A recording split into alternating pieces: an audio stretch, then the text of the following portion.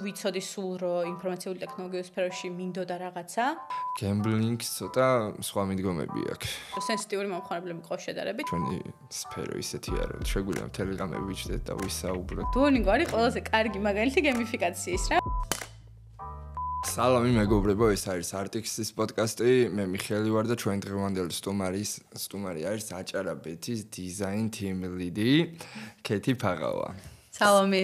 როგორ ახარ? კარგად, შე როგორ ხარ? კარგად, კარგად, მადლობა და ჩვენ დღევანდელი თემა იქნება დიზაინ მიდგომები გემბლინგში, რა თქმა უნდა, როცა აჭარობით ეხება საქმე. კი, პირველ რიგში მინდა გითხრა რომ გილოცავ. ძალიან კარგი წამოწყებაა. და დიზაინ კომიუნიტის რაც უფრო მეტი სკაუს ტიპის კონტენტი ექნება, მით უფრო მეტად დავეხმარებით დამწყებ დიზაინერებს, რომ განვითარდნენ ამ სფეროში. ჩვენი მიზანიც ერთ-ერთი სწორედ ეგ არის, რა თქმა უნდა, რომ დამწყებ დიზაინერებს დავეხმაროთ მაქსიმალურად. კეთი სანამ უშუალო თემებზე გადავართ სასაუბროთ, გაგვეცანი, რამდენი ხანია რაც ამ სფეროში ხარ, როდის დაიწყე, რა გზები გაიარე და სად ხარ ახლა? კი გამოვაცხადე, მაგრამ უფრო კონკრეტულად რა შეგვიშალა.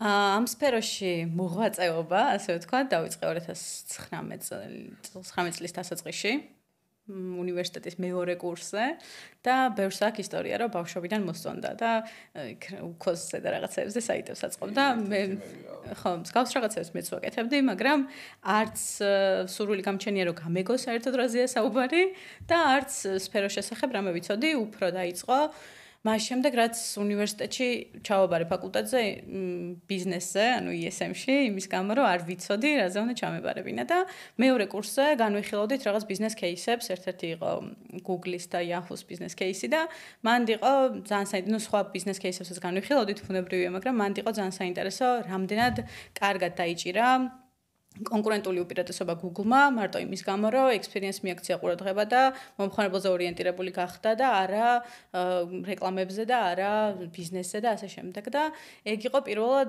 ვიცოდი სულ რომ ინფორმაციული ტექნოლოგიების სფეროში მინდოდა რაღაცა და მინდოდა რომ მაგ მიმართულებით წავსულიყავი, ზუსტად რა როლი მქონდა ამაში, მაშინ არ ვიცოდი. და ნუ ეს პერიოდი იყო, როცა ჩაუღმავდი, დავიწყე და ნუ დავიწყე ამ მიმართულებით უკვე სწავლა. აა მაგ დროს ვიყავი ბიზნეს ანალიტიკოსი Georgian Water and Power-ში. და სერიოზული ნახტომი. კი, სერიოზული ნახტომი იყო და იმის გამო რომ ძალიან იმედგაცრუებული ვიყავი იმით, რომ ყოველ დღე Excel-ს ვუყურებდი, გაუთავებლად და Excel-ში ვუყურებდი ბევრ ციფრებს და ამ ციფრებს ვშლიდი. აა მინდოდა ან ჩემ თავს მივეცი რაღაც პერიოდი, რაღაც დრო, რომ აი იმას ისწავლე, რაც რეალურად გინდა. და რამენაირად მოკლედ მიაღწევ პირველ ნაბიჯებს დაიწყებ რომ გადადგა ამ სფეროში. დავიწყე სწავლა ონლაინ რითიც ანუ უმეტესობამ დაიწყო სწავლა. აა და რაღაც პერიოდის შემდეგ მე მგონი ქართულ ბაზარზე ყველა კომპანია შევაწუხე რაც არსებობს.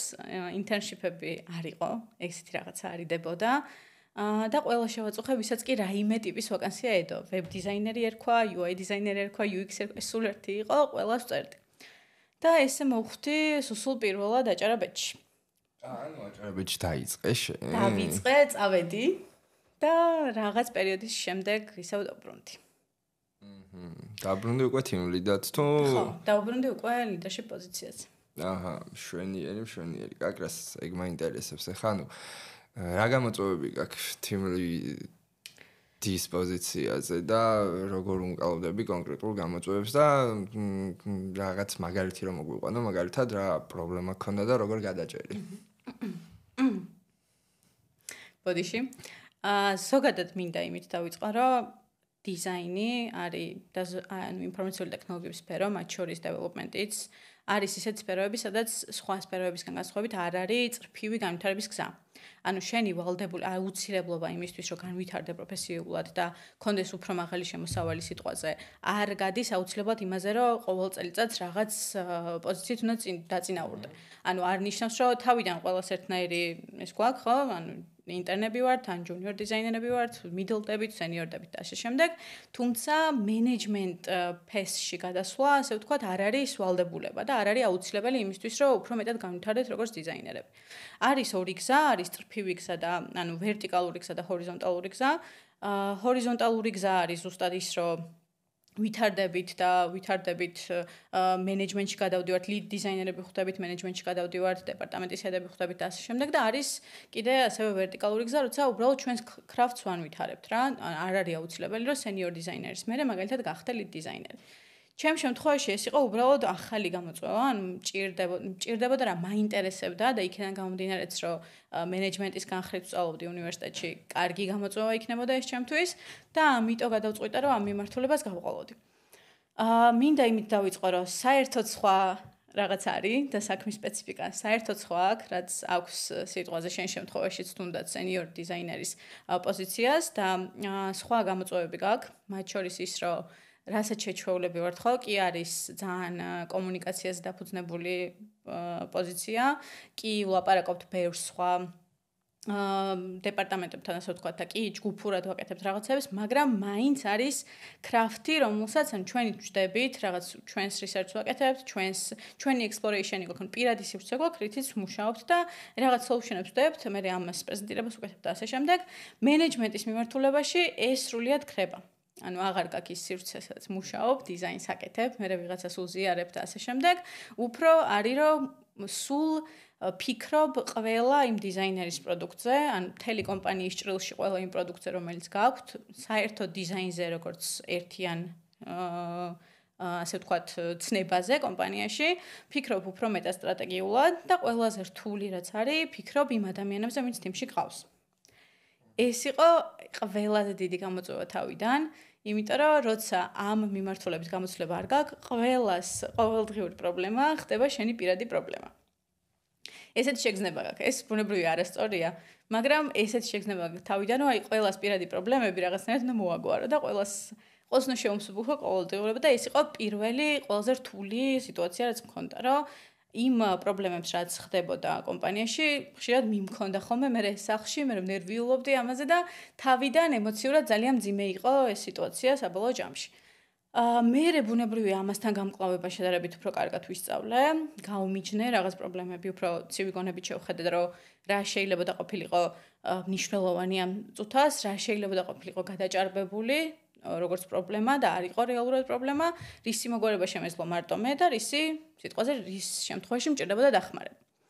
ეს იყო პირველი ხალხის სიტუაცია, რომ мотиваცია უნდა კონდეს აუცილებლად შენს დიზაინერს ვინც ყავს, აუცილებლად უნდა კონდეს გარემო იმისთვის, რომ სწორად განვითარდეს და იმისთვის, რომ კარგად იმუშაოს და ძირითადი საკითხები, რაც უნდა დაუკმაყოფილო პროდუქტიული მუშაობისთვის, აუცილებლად უნდა კონდეს. ეს იყო პირველი.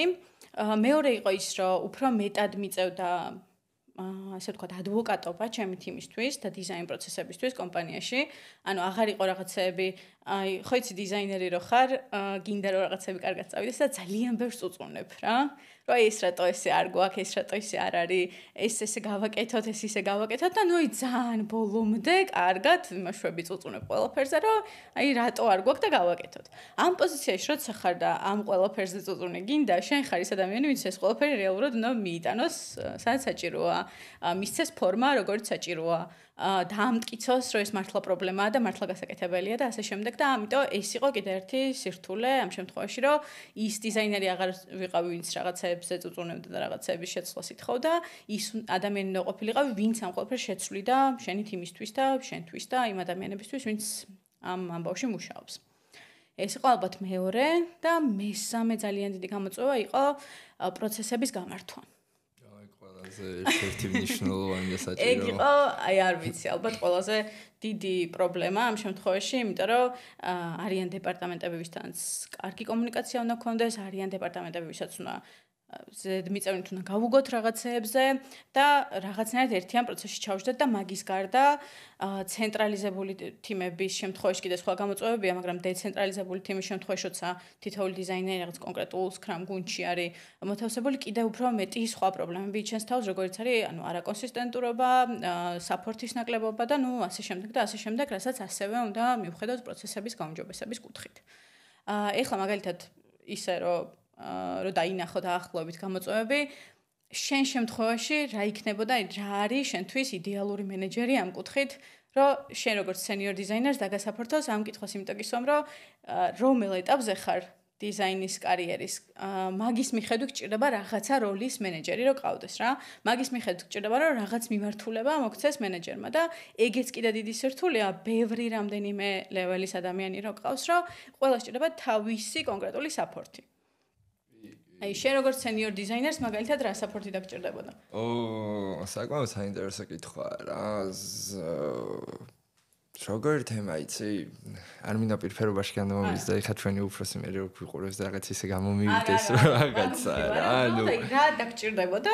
გვერდიდან რო შეხედო შენ საქმიანობას, ვინ გჭირდება ადამიანი? ზოგადად უყურე, ჩემთვის საქართველოს ბანკში ეს მიდგომები თუნდაც და ეს რასაც ეხა შენ საუბრობ რა, შეახლია ჩემთვისაც რა, იმიტომ წინა სამსახურებში სადაც ვიყავი, მსგავს ტიპს არაფერი არ არსებობდა რა. არ არსებობდა სკრამ გუნდები თუ ცენტრალიზებული, ან ცენტრალიზებული მიდგომა, ეჯენსი მოდელი ქონდა ერთად ვიყავით და რაღაცა რეკვესტები მოდიოდა და მოდიოდა. აი, რამდენიმე კომპანიაში ვიყავი, სადაც მასე იყო რა, ნუ წინა სამსახურში ასე თუ ისე რაღაცა იყო, მაგრამ ისე როგორც აქ არის, არა რა და საფორთი რაც შეეხება, ხო ალბათ ერთ-ერთი რაც ახსენე მეორე პუნქტში მე მგონი, ყველაზე მნიშვნელოვანი არის ის თემა, რომ შენი გულისტკივირს როგორც დიზაინერი რა შეგიძლია გაუზიარო შენს მენეჯერს რომელიც მოგიგვარებს რაღაც კუთხით მაგ პრობლემას რა და პლუს ამას ეს პროცესები რაც ახსენე ერთ-ერთი ყველაზე მნიშვნელოვანია მაგრამ ნუ პროცესებსო ჩავეხსნათ ალბათ ეგ არის რომ ყავს ადამიანი რომელსაც გაუზიარებს შენ ტკივილს რომ და შემდგომ იზრუნებს ამაზე რა ესა ყველაზე მნიშვნელოვანი ჩემი აზრით რა. ხო, აი, ჯუნიორ დიზაინერებს რო შევეხო, ორი სიტყვით, როცა ჯუნიორი ხარ, როცა ახალ კომპანიაში მიდიხარ, როცა გხვდება მოდელი, რომელიც აქამდე არ გინახავს და მხოლოდ წაგიკითხავს და ეს არის ეხლა ყველაზე ხშირად რასაც ვიყენებ software development-ის პროცესში არის, რომ Scrum თიმები გყავს. Scrum-ში ხარ, უცებ არავინ არ ყავს, სხვა დეველოპერები ყავს, ტესტერები ყავს, product owner-ი რაღაცას daily meeting-ებს ატარებს, grooming-ებს, აზრზე არ ხარ რა ხდება. ამ შემთხვევაში გჭირდება ადამიანი, ვინც გასწავლის. ეს არის პირველ რიგში, ხო? ანუ ამ შემთხვევაში მენეჯერი არის ადამიანი, ვინც რაღაც ტიპის საფორთი უნდა მოგცეს, თუ თვითონ ამას ვერ გაძლევს, ვიღაცა მაინც უნდა ყავდეს, ვინც ანუ ვიღაცა მაინც უნდა მოგაესაინოს, ასე ვთქვათ, ვინც ამას მოგცემს, ხო? ანუ ამ შემთხვევაში ჯუნიორ დიზაინერებში ის გამოწვევა გაქვს, რომ რაღაცნაირად ეს ადამიანი მუდმივად უნდა დაასაფორთო, ხო? რაღაცნაირად ეს ადამიანი მუდმივად უნდა ასწავლო. თუ არა აქვს roadmap-ი, ასე ვთქვათ, რაღაცის როგორ ისწავლოს, ამაშიც უკვე შენეხმარები და ესეც უკვე ძალიან დიდი პასუხისმგებლობაა, იმიტომ რომ რაღაცნაირად შენ თავზე იღებ იმას, რომ ეს ადამიანი სწორად განვითარდეს, სწორი სკილები მიიღოს. კი, მაგრამ ანუ ჯუნიორები ვიღები ვახსენეთ, მაგრამ ანუ ისეც არ არის რა, ხო ხვდები ჩემი აზრით, ასურ რა დონის სენიორიც არ უნდა იყოს ყველა ეტაპზე რაღაცას მაინც სწავლობს რა, რაც არ უნდა იყოს, იმიტომ რომ საქართველოს ბანკში მაგალითად სენიორ დიზაინერად მოვიდი, მაგრამ ძალიან ბევრი რაღაცა ვისწავლე რა, მაინც იმის მიუხედავად, რომ გამოცდილება მქონდა ბევრი რაღაცის, მაგრამ კონკრეტულ თემებში კონკრეტული გამოცდილება ეხა ფინტექთან ვაფშე არ მქონია შეხება მე აქამდე რა, გემლინგთან მქონია შეხება აჭარაბეთის პროვაიდერთან კაკრას რა სპრაიფში უმუშაობდი ერთი პერიოდი და აქედან გამომდინარე და ხო კიდე ერთ რასაც დავამატებდი წეგან თავარი არის ჩემთვის რომ ანუ შენი მენეჯერი ვინც არის რა და გულისკივილი ოკეი მაგრამ ანუ ხოდიანი უნდა იყოს რა. ანუ დავაი მოყვევი შენ გვერდი თუ არ გავატრაკოთ ერთად ხო ხვდები რა ჩავაჭიროთ ბოლომდე ოღონდ რა თქმა უნდა არგუმენტირებულად და არა ისე რომ მოდი ჰაერზე ჩავაჭიროთ რა. კი აი იმიტომ დავიწყე ჯუნიორებით რომ მე მიდლებზეც მე თქვა და სენიორებზეც. ჯუნიორები ნუ სწავლას გულისხმობ ამ შემთხვევაში რომ ნებისმიერ ეტაპზე სწავლობ ეხლაც ან team lead-ი ხარ თუ lead designer-ი ხარ თუ დეპარტამენტის head-ი ხარ თუ კომპანიის დირექტორი ხარ სულ ერთია ისეთ სწრაფად განვითარებად ეპოქაში ვართ ახლა რომ ყოველ დღე თუ არ სწავლობ რაღაცნაირად ჩამორჩენილი ხარ ყოველ დღე ანუ უფრო და უფრო ჩამორჩები და რაღაც ეტაპზე უკვე განვითარებას განვითარებაში ძალიან წამოგეწევა ინდუსტრია და ვეღარ გაკაჩავ ისედაც. თუმცა ყველა ეტაპზე რაღაცა სხვა რაღაცები ჭირდებათ ამ ადამიანებს შენგან რა მაგალითად, თუ იმას ჭირდება ჯუნიორს, რომ კრაფტში რაღაცა მოიხოდოს ცოტა, სკრამშიც მოიხოდოს ცოტა გაერკვეს ვაფშე რასაკეთებს, ბოდიში საერთოდ რასაკეთებს, ცოტა გაერკვეს ტასკები, როგორ უნდა აკეთოს, როგორ დაიწყოს, ვისთან მივიდეს, რა გააკეთოს. აი მე მიდლს უკვე ისეთი რაღაცა ისეთ რაღაცეებზე უჩნდება პრეტენზია, როგორც არის, რომ აი იცი რა არის დეველოპერთან კოლაბორაცია ცუდია ჩემთვის და რაღაცა უშველოთ ამას. იცი რა, მოდი აი დიზაინ სისტემა რატო არ გვაქვს? ან დიზაინ სისტემა ესეთი რატო გვაქვს და ნუ აი თელი რიგი პრობლემები მე მიდის უკვე მიდლებთან და მან კიდე უფრო სხვა პრობლემები მოდის. ისა დიზაინ სისტემა გააქვთ? უკომენტარო დავტოვებ მაგას. აი. ვიცი, თეომა საქართველოს ვიცით რომ საქართველოს ბანკს დიზაინ სისტემა გაქვთ. აა ხო, ეგ კიდე ერთი ძალიან სერიოზული ამბავია, იმიტომ რომ რა ვიცი, თქვენც ალბათ და ყველა კომპანია ვინც საერთოდ დიზაინ სისტემის რაღაც რაღაც მაინც აქვს, რაღაც სახე, ეს ყალიბდებოდა წლების განმავლობაში და ხო, ანუ იმის გარდა რომ შექმნა არ არის მარტივი, მარტივი არ არის რომ იმ დიზაინ დეთიდან, ანუ იმ დიზაინ ვალიდან ამოხვიდე, ასე ვთქვათ, რაც ამ წლების მანძილზე ამ კომპანიებმა ავიღეთ და იმის გარდა რომ შენ შეგიძლია სიტყვაზე დიზაინ სისტემა შექმნან, ასე ვთქვათ, ლაიბრერი შექმნა ამ კომპონენტების, სტილების და ეს ყველაფერი გაკეთო, მაგის უკან დგას კიდე tech debt-ი, რომელსაც აი, რა ვიცი, აისბერგია მართლა და შენი ინიციატივა იმდენად ღრმადაც ვერ ჩადის ამ აისბერგში, რომ რაღაცები დაიძრას. ჩვენ შემთხვევაში ბევრი პროცესები დაიძრა ძალიან. და საკმაოდ წინ ვართ ამ მიმართულებით, უბრალოდ ნამდვილად არ ანუ არ ვართ ჯერ იმ ეტაპზე, რომ ეს საჯაროდ გავაზიაროთ, ან ამაზე საჯაროდ ვისაუბროთ, უფრო ვართ იმ ეტაპზე, რომ რაღაც რაღაცებს ტესტავთ, რაღაც რაღაცებზე ვმუშაობთ, აი ნელ-ნელა ვეპარებით ამ ტექდეთს, რომ იცი რა არის, მოდი აი იქნება ეს კომპონენტიც, აი ერთი ესეც გავაკეთოთ და იქნება ესეც ამოგვეცვალა. და ნუ რა თქმა უნდა, ამას ძალიან დიდი პრობლემები მიყვება, ეხლა რაღაც ისეთი კომპონენტები არის, რასაც ჯერ კაი კარგა ხას აი ჯერ რაღაცები გჭირდება კიდე რომ აქამდე მივიდეთ რა. ოკეი, აღარ მკითხავ არაფერს. ამიტომ ესე საჯაროდ ამას ამაზე ჯერჯერობით არ ვლაპარაკობ, თუმცა თქვენ მართლა ძალიან ვამაყობ იმითი, რაც დადეთ, რა პროდუქტის დადეთ და რაც მოხდა, იმიტომ რომ ვფიქრობ რომ ბიცგი იქნება ახლა სხვა ასეთივე ბრენდებისთვის და სხვა და იმ კომპანიებისთვის, ვისაც აქვს ამის საშუალება, რომ მოდი იცი რა არის, მეც გავაკეთებ, მოდი მეც გავაზიარებ, მოდი ჩემიც ხელმისაწვდომი იქნება და მოდი მეც ვილაპარაკებ ამაზე და უკვე ის აღარ იქნება, რომ აი Spotify-ი დიზაინ სისტემა გააკეთა და რაღაც shorts კი არ იქნება, იქნება, რომ აი ჩვენივე ქვეყანაში კეთდება და ჩვენივე დიზაინერები აკეთებენ და ჩვენს ჩვენივე ქვეყანა ჩვენივე ქვეყანაში განვითარებას შეუწყობ ხელს რა სოფლიო მასშტაბით რა თქმა უნდა კი.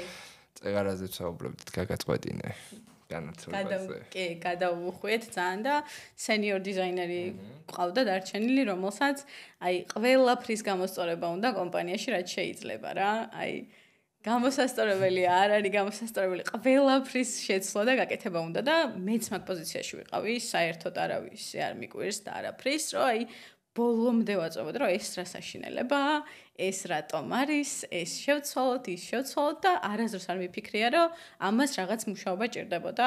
ანუ რა თქმა უნდა მიფიქრია, მაგრამ ბოლომდე მაინც მინდოდა, რომ აი გავიტანოთ ეს, გავიტანოთ ეს, გავიტანოთ რაღაცა. და ამიტომ სენიორ დიზაინერებთან კიდე უფრო ის მომენტი გაქვს, რომ რაღაცებში მიყვები ბოლომდე, რაღაცებს აკეთებ იმისთვის, რომ მოდი ესეც დავაკმაყოფილოთ, ესეც დავაკმაყოფილოთ, ეს პროცესები დაიძრას აუცილებლად და გინდა რომ ყველაფერი დაიძრას, იმიტომ რომ შენ თვითონ ხედავ რომ პრობლემა არის, მაგრამ თან იცი რამდენი რაღაცის გადალახვა გიწევს კიდე იმისთვის, რომ ეს პრობლემა მოგვარდეს საბოლოო ჯამში და ეს სირთულე გაქვს კიდე მანდან. ყველა ეტაპზე რაღაც ტიპის სხვადასხვა სირთულეები გაქვს, რასაც ეჭიდები და თან გულისიღმეში სულ იმას ფიქრობ, რომ აი იმედი არ გაუცრო teams რა, რომ აი რაც მნიშვნელოვანია, ის აუცილებლად უნდა გააკეთო და სადაც საჭიროა, ყველგან უნდა დაიცვა, იმიტომ რომ ალბათ შენც გაქვს ეგ პრობლემები, რომ რაღაც სხვადასხვა დეპარტამენტებთან ურთიერთობებში რაღაცებს რაღაცები ვერ გაგაქვს რაღაც გადაწყვეტილებები ან რაღაცები ბოლომდე კარგად დამტკიცებული არ გაქვს და ამაში გჭირდება რაღაც საფორთი გჭირდება და ესეც კიდე მეორე ნაწილია რაშიც აბსოლუტურად ყველა დონეს ასე თუ ისე ვასაფორთებთ. ან დიდ კომპანიებში ერთი ყველაზე რთული ეგ ფაქტია ზუსტად რომ ანუ რამდენი დიზაინერიც არის და მით უმეტეს რამდენი სინიორ დიზაინერიც არის, იმდენი განსხვავებული აზრია რა. ნუ ერთაზე ვარ კონკრეტულ თემებზე, რა თქმა უნდა, მაგრამ შენ შენ შეხედულება გაქვს, მე ჩემი შეხედულება მაქვს რა. თუნდაც UI-ის თვალსაზრისით ავიღოთ რა და ნუ საბოლოოდ გვინდა არ გვინდა მაინც ერთმანეთზე მივიდივართ, მაგრამ ნუ ეგ არის. მაგრამ ნუ პრობლემა შეიძლება არ არის რა, უფრო ალბათ მე აი მაგამაჩი და მაგ ყველაფერში ვადება ჭეშმარიტება საბოლოოდ მაინც რა. აა კი, გეთახმები, თუმცა არის რაღაც ისეთი ეტაპები, სადაც აი კაფიო არგუმენტები გჭირდება და მკაფიო აა შემთხვევა არა, ყველგან გჭირდება. დატა გჭირდება სიტყვას და არ გაქვს იმ მომენტში, აი ხშირად არის შემთხვევა, რომ ჩვენ ვიცით რა სწორია რა, რაღაცა ჩვენ ვიცით, რომ პატერნი ასეთი ვიცით რომ 99.9% კომპანიებს ასე აქვთ და ვიცით რომ მომხმარებელი ამას გააკეთებს, მაგრამ სიტყვაზე არიციან სხვა ადამიანები. მეტი დამტკიცება ჭირდება სხვა ადამიანებს, მეტი რაღაცა ჭირდება სხვა ადამიანებს და აი ეს არის კიდე ძალიან მნიშვნელოვანი, სადაც ნუ გუნდი მთლიანადაც და ისედაც საფორტი უნდა წამოვიდეს რა. განსაკუთრებით დავამატებდი დეცენტრალიზებულ თიმებში, ანუ სადაც მარტო ხარ გუნდში, იმიტომ რომ აქ უკვე მარტო შენ ხარ იმ დიზაინ გადაწყვეტილების ადვოკატი, რაც უნდა გაკეთდეს და რაც რასაც ფიქრობ რომ სწორია. ცენტრალიზებულ თიმებში კიდე ცოტა უფრო სხვანაირად არის და ძალიან ეტყობათ ხოლმე სხვა შორის დიზაინერებს ამ ბექგრაუნდზე, რომ რამ ხელა საფორც არიან ხოლმე შეჩვეულები და განსაკუთრებით რთული ტრანზიშენია ამ დიდი საფორტიდან და აი მთელი დიზაინ გუნდი რო რაღაცას ამბობს და რაღაცაში გეთანხმება და მოყვება, უცებ რომ მარტო ხარ და გჭირდება რომ გუნდმა რამენაირად გუნდს დაასაფორთებინო თავი რა. ხო, ანუ მაგ შემთხვევაში ძნელია როცა აა გუნდთან ერთად მუშაობდა უცებ მარტო იჩითები, მაგრამ იმ შემთხვევაშიც რთულია როცა მარტო მუშაობდა უცებ გუნთან ერთად იჩთები რა და მარა ორივე საინტერესოა ვფიქრობ, მარა ბევრი რთული არის, როცა უკვე შეჩეული ხარ თუნდაც ყავს შენივე სფეროს წარმომადგენელი ახლოს რაღაცა გაგიზიარებს ექსპერიენს, გამოცდილებას, კითხვას დაუსვა და რაღაცა და საერთოდ მარტო რო ხარ კომპანიაში დიზაინერი, ცოტა რთულია. აი, ეგ კიდე სხვა მომენტია, საერთოდ მარტო რო ხარ, ჩვენ შემთხვევაში ალბათ ზეითად სტარტაპებში გვაქვს ეგ სიტუაცია, რომ საერთოდ მარტო ხარ. სტარტაპებში თქვა შორს. ხო, შეიძლება კი. ეთქობა ჩვენ მე პირადად ძალიან შეჩვეული ვარ კორპორატიულ გარემოს და იმას, რომ თიმ თიმი ყავს, იმას, რომ რაღაცა კონკრეტული პოზიციებზე ყავს ადამიანები, ვინც რაღაც კონკრეტულ საქმეს ასრულებს. თუ ისეთ კომპანიაში, სადაც მარტო მე ვიქნები დიზაინერი, შეიძლება გამოვშტერდე რა. იმიტომ რომ ძალიან რთული იქნება ისე. უცებ ხარხრავლობიდან რომ მარტო გამოკეტავენ სახში რაღაც ესეთი თემაა რა. შვენიერი, შვენიერი, ძალიან კარგად უკავდები ესე იგი რა. ხო, აი, დიზაინსა დაუბრუნდეთ ახლა რა. ტრადიციულ საიტებისგან განსხვავებით, ეს იქნება პორტფოლიო საიტი, იქნება რაღაც კომპანიის თუნდაც ან რაღაც e-commerce და ასე შემდეგ. გემბლინგს ცოტა სხვა მიდგომები აქვს ჩემი აზრით. ხო და აი რა გამოწვევების წინაშე არიან დიზაინერები, როცა გემბლინგს ეხება საქმე. ოკეი, ცოტა ინდუსტრიიდან დავიწყოთ მაშინ. ზოგადად ძალიან ბევრი საუბარი მიდის გემბლინგზე საქართველოში, hot topic-ია ალბათ. ზოგი ლანძღავს, ზოგი გამოსვლებს აწყავს, ну გასაგებია, რომ ცხელი თემაა, თუმცა ასევე ცხელი თემა იმ ადამიანებისთვისაც, ვინც იყენებს, ხო? ანუ ძალიან ბევრი მომხმარებელი ყავს, ძალიან აქტიური მომხმარებლები ყავს და რაღაც კონკრეტულ სტანდარტს ელოდებიან, განსაკუთრებით კი იმ შემთხვევაში, როცა ინდუსტრიაში ძალიან ბევრი მოთამაშე ყავს. ნუ ეხლა შეიძლება თამბობ, მაგასო ძალიან ბევრი მომხმარებელი ყავს, ბევრმა არის ეს სტატისტიკა და ვინაიდან და რადგანაც მე ასე თუ ისე პროვაიდერ კომპანიაში მუშაობდი, მაგედან გამომდინარე ვიცი, რომ ძალიან დიდი რიცხვებზე აქვს საუბარი და არა უბრალოდ ბევრი მომხმარებელი. კი და განსაკუთრებით კიდე ის არის ამ ზოგადად გემბლინგ ინდუსტრიაში საინტერესო რომ ძალიან ბევრი მოთამაშე ყავს ამ წუთას რა ან ყავს ისეთი მსხვილი კონკურენტები რომლებიც ან ერთმანეთის ნაბიჯ-ნაბიჯ მიყვებით ერთმანეთს და ერთმანეთს ძალიან ანუ აქტიურად ვებრძვით არა კონკურენციის პირობებში თამაშობთ ასე ვთქვათ. და რა თქმა უნდა კი, თუმცა ასევე არის ის, რომ switching cost-ი, ანუ განმარტავა უცლებად უბრალოდ დავამთავრებ ბოდიში, გვაქვს ძალიან დაბალი, მომხმარებლებს აქვს ძალიან დაბალი, როცა ერთი პლატფორმიდან მეორეში გადადიან.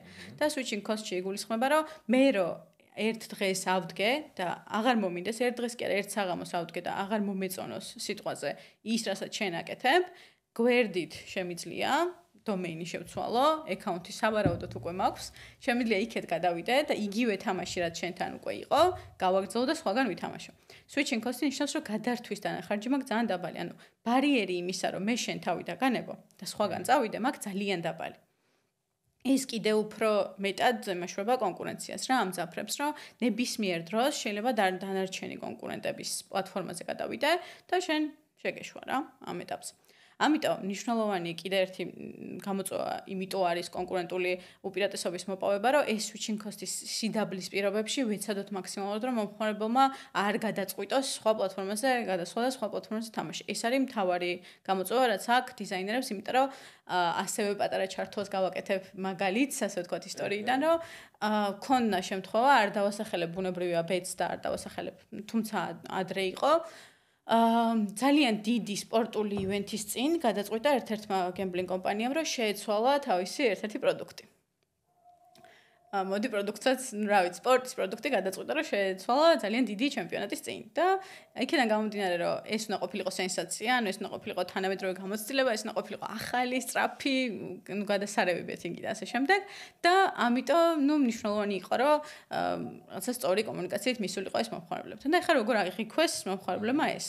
გავითვალისწინოთ ასევე დაბალი switching cost-ი, გავითვალისწინოთ ის, რომ სენსიტიური მომხმარებლები ყო შედარებით, იმიტომ რომ სპორტის კომაგობა რამდენად მნიშვნელოვანია გვესმის ადამიანებისთვის და რამხელა ადრენალინი და რამხელა სიამონებას გვაინჭებს ის რომ რაღაც სპორტულ ივენტზე ვართ ან ჩვენს გუნდს ვქომაგობთ ასე ვთქვათ. და ამიტომ სენსიტიური პროდუქტიც იყო სენსიტიური მომენტიც იყო იმიტომ რომ რაღაც დიდი სპორტული ივენთია და შენ ადექი და შემომთავაზე შენთვის სენსაციური გამოცდილება რა. ჩემთვის ეს გამოცდილება სენსაციური არ არის. ჩემთვის ეს არის რომ მე ერთ დღეს შემოვედი და სასწრაფოდ უნდა გავაკეთო რაღაცა და ანუ ის ღილაკი რომ იქ მეგონა ყოველთვის და ეს ბეთები ყოველთვის მეგონა რომ აქ უნდა გამეკეთებინა აქ არ არის. და მე იმას კი არ ვუყურებ რომ ვაიმე რა მაგარი UI-ია და მოდი ვისწავლი ახლა სად უნდა დავდობეთი. ამას ხო არ ვუყურებ მე ვუყურებ იმას რომ ორ წუთში თამაში იწყება და მე ბილეთი არ მიდევს რა. და ეს იყო ძალიან კარგი გარდამტეხი პერიოდი იმისთვის რომ ინდუსტრიას ზოგადად გაკვეთილი გვესწავლა ის რომ 60% სადღაც ბაზრი სადგა და წავიდა კონკურენტ პლატფორმაზე. და ძალიან ისეთი ის იყო რა, დიდი დარტყმა იყო იმ კონკრეტული კომპანიისთვის, რომ იმის გამო რომ არ გაითვალისწინე რამდენად სენსიტიურია მომხმარებელი იმის გამო რომ არ გაითვალისწინე.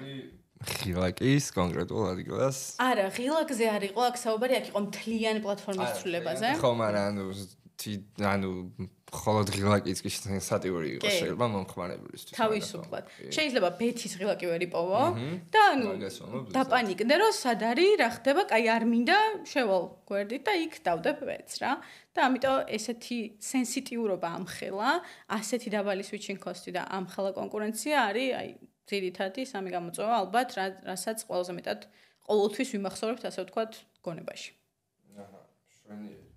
აა ეს ჩელენჯებიდან გამომდინარე აა უფრო მნიშვნელოვანი რა თქვენთან ანუ ну ხელა ვიტყვი რომ გასაუბრებაზე ვიყავი აჭარაბეთში არ ვერ გადავწყვიტეთ ეს გვეთქვა თუ არა ხო საქართველოს ბანკში სანამ დავიწყე მუშაობას და ანუ დავალება რაც მივიღე ну დავალების შინაარს არ გავაჟღერებ რა თქმა უნდა და ტექსტი იყო კონკრეტულად თქვა ანუ მნიშვნელოვანი რომელი თემა იყო UI თუ UX-ი. აა, ოკეი. ნო, ანუ UI იყო მოთხოვნა რა, UX-ი არ გვაინტერესებსო ამ ეტაპზეო რა და მაგიდან გამომდინარე, ანუ აა რა შემთხვევაშია თქვენთან UI უფრო მნიშვნელოვანი, რა შემთხვევაშია UX-ი უფრო მნიშვნელოვანი და ხო, ჯერ ამაზე გამიცით პასუხი. ოკეი, აქვე ჩაგიშვებ და გეტყვი, რომ შენი გადაწყვეტილება იყო რაღაც კონკრეტულ თიმში ყოფნა. და კაფეო მოთხოვნა იყო იმის, რომ კონკრეტულად ამ თემში ყოფილიყავი და ამით დავიწყებ ზუსტად განსხვავებაზე საუბარს რა. თითქმის ყველა გემბლინგში ალბათ შეგხვედრიათ ძირითადი პლატფორმა, რაც აქვთ და აქვთ ასევე აპლიკაციები, აქვთ რაღაც კიდე განცალკევებული სხვადასხვა პლატფორმები ასევე და აქვთ კამპანიები. და ყველგან ეძახიან კამპანიებს რა, ზოგან ეძახიან პრომოუშენებს, ზოგან ეძახიან კამპანიებს, აქციებს, ბევრი სახელი შეხვდებით სხვადასხვა პლატფორმაზე. აა ძირითადად ყველას ყველაზე ბუნებრივია თავს ვერ დავდებ. ძირითადად ყველა კომპანიას ეს ორი დიზაინ თიმი ერთად ყავს, მაგრამ თან ცოტა განცალკევებული, განცალკევებული ყავს იქიდან გამომდინარე სპეციფიკა სხვანაირი საქმის. ერთ მხარეს საქმის სპეციფიკა არის რასაც სტანდარტული ციფრული პროდუქტის შექმნაში ნახავდი, სტანდარტული სპრინტები, სტანდარტული რაღაცა Scrum ივენთები, სტანდარტული პროცესი და მეორე მხარეს არის ბევრად სწრაფი, ბევრად დინამიური, ბევრად კრეატიული და ბევრად კონკურენტული პროცესი. და ეს მეორე მხარე, რასაც ვეძახით კამპანიებს, აქციებს, პრომოუშენებს, რაც გვინდა ის დაუძახოთ, არის ძალიან ფოკუსირებული გრაფიკაზე, UI-ზე, ანიმაციებზე, ინტერაქციებზე ძალიან ისე არის დახუნძრული არის ამ ნაწილით. არ ვამბობთ რომ მან UX-ი არ გჭირდება, ცალსახად მაგას არ ვამბობთ და task-ში რა თქმა უნდა იყო რომ UX-ის ნაწილზეც უნდა ყოფილიყო საფიქრალი. კი, თუმცა ხო, ფოკუსი იყო UI-ზე, იქედან გამომდინარე რომ team-ში რომელშიც პოტენციურად უნდა გემუშავა, ყველაზე დიდი ფოკუსი იყო UI-ზე.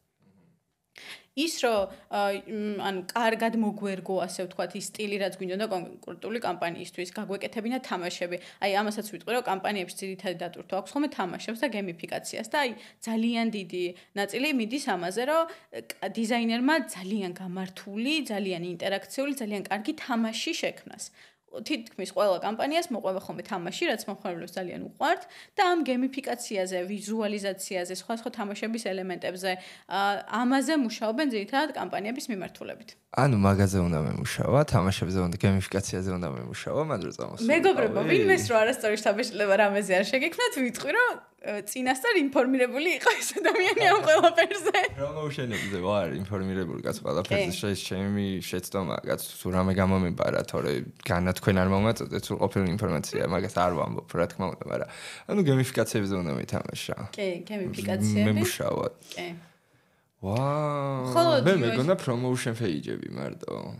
არა რა თქმა უნდა საკმაოდ ჩელენჯინგ მიმართულება არის. ძირითადი მომხმარებლები რაღაც გააქვთ. არა საქართველოს ბანკوار ვიდეო არ არის ნატო. ჯას, ვაკაციის თემა, ჯას. ცალკე სექცია იქნება, მეგობრებო, შეგიძლიათ გადაახვიათ. სად უნდა გადასვლა? ჩვენს წამყვანს. არ სად არ მინდა შენი რა თვარ გიქცო? კარგად ხარ? კი. აა ხო, საკმაოდ ჩელენჯი მივართულება არის. ძალიან რაოფეროვანია, ძალიან, ასე ვთქვათ, არ ვიცი, საინტერესოა.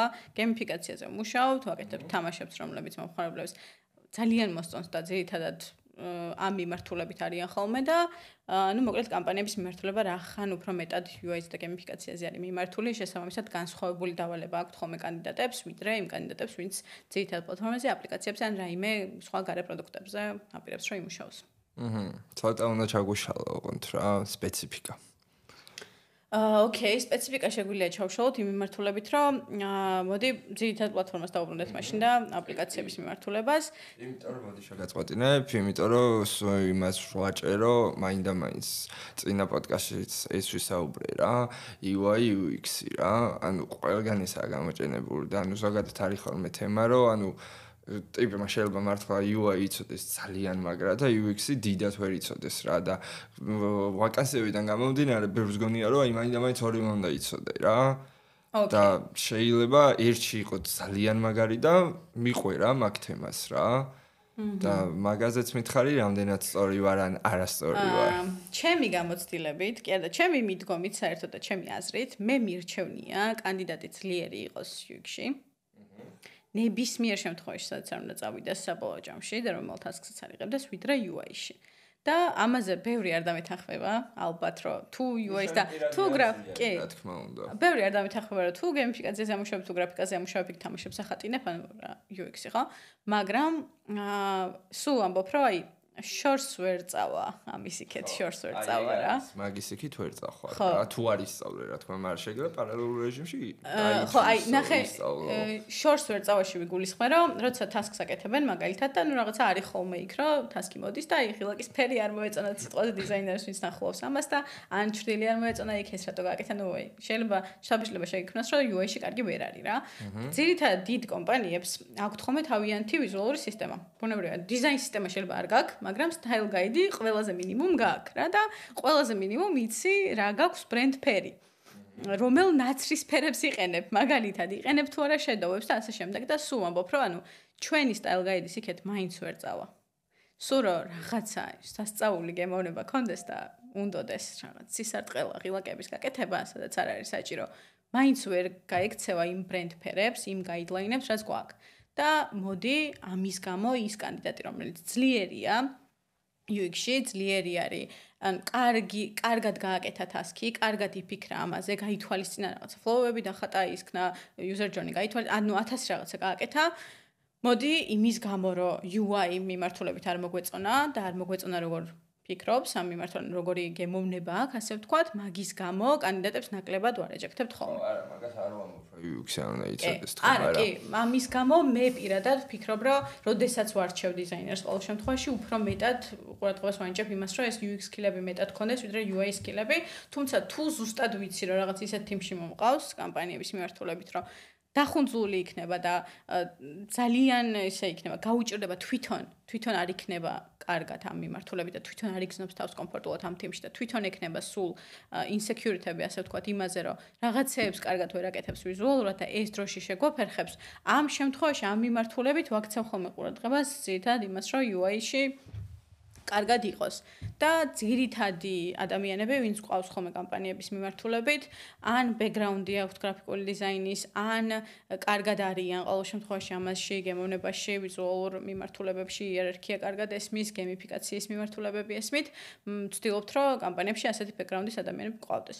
თუმცა ძირითად პლატფორმაზე ყველა ვარიანტში 100%-ით უპირატესობას ვანიჭებთ ხოლმე იმას, რომ UX მიმართულებით კარგად იყოს. მათ შორის კვლევაშიც კონდეს რაღაც ტიპის ხედვა და გამოცდილება თუ არა რაღაც ტიპის ცოდნა და პროცესები ესმოდეს და რაღაცები ესმოდეს კვლევის მიმართულებით და ასევე დეველოპერებთან კომუნიკაციის მიმართულებით და UI ნაკლებად გვაინტერესებს, იმიტომ რომ ისევ ის არგუმენტი მომყავს, რომ მეგობრებო, იმ წვანე ღილაკს ვერ გაიქცევა. ნუ რაცა გაიგონებს ხარ კი რა თქმა უნდა. კი. ესეთი სიტუაცია გვაქვს, ამიტომ UI-ს და UX-ის განსხვავების მიმართულებით, თუმცა ზოგადად რო გითხრა, ისევ გააჩნია რაზე მუშაობ, ხო? არის მიმართულებები, რომ პროდუქტის შოუკეისებს აკეთებ, აკეთებ ვებსაიტებს, რომლებიც რაღაც, არ ვიცი, ივენთისთვის კეთდება, მარკეტინგულია, პორტფოლიოა და ასე შემდეგ. რა თქმა უნდა, მანდ ხა UX, აი, AdWords-ის საიტების უმეტესობა, ხო, მაგალითად, რასაც ვნახულობთ, რო შედიხარ პირველი 5 წუთი ეძებ სად არის? რას უნდა დავაჭირო? მაგრამ მიზანი ხო? ხო, მიზანი ხო საერთოდ სხვა. მიზანი ხო ის არა აქვს, რომ შენ ნავიგაცია გაგიმარტივდეს იმ საიტზე, რომელიც ვაუ რო იყოს მაგისტვის არის შექმნილი, ხო? აქედან გამომდინარე ძირითადი skill set-ი, რაც უნდა მქონდეს, არის UI-ის მიმართულება, გრაფიკული დიზაინია, ანიმაციებია, ინტერაქციებია, თუმცა თუ ვაკეთებ პლატფორმას ან აპლიკაციას, სადაც მნიშვნელოვანია, რომ ყველაზე სწრაფად გადავიცხოთ, ხო? ბანკებს შევეხოთ ისევ ბუნებრივია ჩემი პრიორიტეტი იქნება ის ადამიანი ვინც UX-ის მიმართულებით არის და მით უმეტესაც დიზაინ სისტემა გაქვს მით უმეტეს როცა ვერ გაიქცევი სტაფილოსფერ და მწვანე ღილაკებს ოკეი და სპეციფიკებზე რა მიმართულების სპეციფიკებზე გაინტერესებს კონკრეტულად აი გემიფიკაციაზე. გემიფიკაციაზე გაინტერესებს. ოკეი. გემიფიკაცია იდეაში რომ განმარტოთ არის რომ ნებისმიერ პროდუქტში ან პლატფორმაში ან არ ვიცი, სერვისში თუნდაც გემიფაიდ ელემენტებს, ანუ თამაშის მსგავსი ელემენტების, იგულისხმება რომ არა კონკრეტულად მხოლოდ თამაში, არამედ თამაშის ტიპის ელემენტების ჩასმა, ასე ვთქვათ, არის გემიფიკაცია, რასაც ვეძახით და ციფრულ პროდუქტებში ამას ვეძახით. ყველაზე მარტივი მაგალითი, რასაც ალბათ ყველა მსმენელი გაიგებს და ყველას მაინც გაუკეთებია ერთხელ და ერთხელ დაუჭერია და ერთი ენა აურჩევი არის Duolingo. Duolingo არის ყველაზე კარგი მაგალითი გემიფიკაციის რა, ვინმეს თუ უფრო ჩაშლა უნდა ამ თემის, ხო? რომ ყველა ტიპის იქ არის პლეიერების ტიპები, რაღაც ფსიქოტიპების მიხედვით, რომელიც რაღაც კვლევების შედეგად შედგა. ვიცით, რომ რაღაც ტიპის მოთამაშეებს სხვა სხვა ტიპის ინტერესები აქვთ ამ მიმართულებით და აი თუ ვისაც უნდა რომ დამწყებ დიზაინერს მაგალითად ან თუნდაც არა დამწყებ დიზაინერს გემიფიკაცია ისეთ ნიშური რაღაცაა რომ შეიძლება სიტყვაზე არ იცოდე თავისუფლად რაღაც ეტაპზე. აა ვისაც უნდა რომ ამას უფრო ჩავღმოვდეს, Duolingo-ზე კარგი მაგალითი ალბათ არ არის. ყველა წერტილს ეხებიან, ასე ვთქვა და ყველა points, ყველა ტიპის. თამაში გასწავლიან. კი. და მანდ ნუ ნახავთ ევორდების სისტემასაც, ლიდერბორდების სისტემასაც, იქ რაღაც შეზღუდვებიც არის, ასე ვთქვათ, გემიფიკაციის ნაწილი და მოკლედ ყველაზე კარგი მაგალითი ეგ არის, რომ რაღაც ტასკები, რაღაც პროგრესები, რაღაც ტიპის დავალებები, შესასრულებლად ლიდერბორდები, ეს ყველაფერი გემიფიკაციის ელემენტები, რასაც გემბლინგი ზოგადად ძალიან კარგად იყენებს და ძალიან დახუნწლულად იყენებს აქტიურად. აჰა, ძალიან კაი, საკმაოდ საინტერესოა. არ ვიცოდი. გემიფიკაცია თუ რომ ვიყენებდით? ოკეი, კეთი. აა, ბევრი რო აღარ გავაგზავნოთ, იმიტომ რომ ჩვენი სფერო ისეთია, რომ შეგვიძლია ტელეგრამები ვიჩდეთ და ვისაუბროთ და დაჟე ხამეც არ ვეყოფა. პირველ რიგში ძალიან დიდი მადლობა რომ გვესტუმრე. საკმაოდ საინტერესო დიალოგი და საუბარი გამოვიდა და ნუ ბოლოს სტანდარტულად ფიქრობ, რომ ძალიან ბევრისთვის მისაღები და საინტერესო იქნება შენი რჩევა, რას ურჩევდი, თუნდაც დამწყებ დიზაინერს, თუნდაც ჯუნიორს, თუნდაც სინიორს, იმიტომ რომ უკვე team lead ხარ და მაგ გადმოსახედიდან რას ურჩევდი ზოგადად დიზაინერებს. აა, ოკეი. ჩემი ყველაზე დიდი რჩევა იქნება ცნობის მოყარების კულტურის შექმნა და შეძენა, ასე ვთქვათ რა, იმიტომ რომ ცნობის მოყარე თუ ხარ ნებისმიერი მიმართულებით, ბევრად მეტს იგებ, ბევრად მეტ კითხვას სვამ, ბევრად მეტის კეთება გინდა და ბევრად მეტის გაგება გინდა, ვიდრე როცა არ ხარ რა. არ მინდა რომ ვინმე ჩვენ სფეროში იფიქროს, რომ ყველაფერი იცის. ან რაღაც ეტაპამდე მივიდა და ამის იქეთ გზა აღარ არის რა, რომ აი დიზაინერია და всё რა და ან დამთავრდა. ან მეტი არაფრის კეთება არ შეუძლია. ეგ არის ყველაზე დიდი შეცდომა, რაც შეიძლება ნებისმიერ ეტაპზე დაუშვას ადამიანმა და ნებისმიერ დონეზე რა, რაზეც არის. ეგ იქნება ყველაზე დიდი რჩევა, რომ არასდროს იფიქროთ, რომ რაღაცები ბოლომდე გაქვთ მასწავლი და აუცილებლად ეცადეთ, რომ მომიჯნავე პროფესიები რაც არის, მათ შორის კვლევა და კვლევა ფიქრობ, რომ აუცილებლად უნდა იყოს დიზაინერის toolkit-ში, ასე ვთქვათ, მაგრამ ყველა არ ფიქრობს ასე, აუცილებლად უნდა შეიყვანოთ კვლევის მიმართულება, აუცილებლად ვიცი, რომ ამაზე ну აი ორად არის დედამიწა გაყოფილი დეველოპმენტი უნდა იცოდეს დიზაინერმა თუ არ უნდა იცოდეს. არ უნდა იცოდეთ მეგობრებო ბოლომდე დეველოპმენტი თუმცა აუცილებელია რომ რაღაც ეტაპზე ჩახედულები ვიყოთ. უნდა იცოდეთ აუცილებლად ვფიქრობ რომ მარკაპის შესწავლა მაინც ყველაზე ისეთ basic დონეზე რაც შეგვიძლია ეგ მაინც უნდა გავაკეთოთ. და ყველა იმ ადამიანთან იმ პროფესიასთან რას ვისთანაც გვაქვს ურთიერთობა ვეცადოთ რომ მათი საქმის ყველაზე მინიმუმ აზრზე ვიყოთ იმიტომ რომ ეს არის ყველაზე სწორი, რაც დაგვეხმარება მათთან კარგ კომუნიკაციაში, რაც გაგვაგებინებს მათ შეხედულებასაც და საქმესაც და მოკლედ იდეალური კომბო იქნება შემდეგ. საკმაოდ გაირჩევა იყო. მადლობა. დიდი მადლობა. პირიქით მადლობა. ბევრ ბევრ წარმატებას გისურვებ და კიდე აუცილებლად ჩავწერთ ერთ საინტერესო ვიდეოს მომავალში. აუცილებლად. დიდი მადლობა მოწვევისთვის და წარმატებებს. ვიწდუმრებო, ეს ხო Artix-ის პოდკასტი და არ დაგავიწყდეთ გამოწერა, დალაიქება, დასაბსკრაიბება და ღილაკის ჩართვა, რა თქმა უნდა და თქვენი ფიდბექი ზემნიშნულოვანია ჩვენთვის. ახონთვის.